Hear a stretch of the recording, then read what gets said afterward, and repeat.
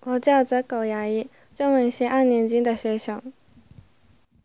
My name is 施景旭. I'm third grade student of English Studies. 我叫西木优子，我是中文系三年级的学生。Are you Chinese?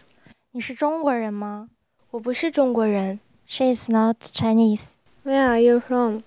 你从哪里来的我从日本来的。She's from Japan.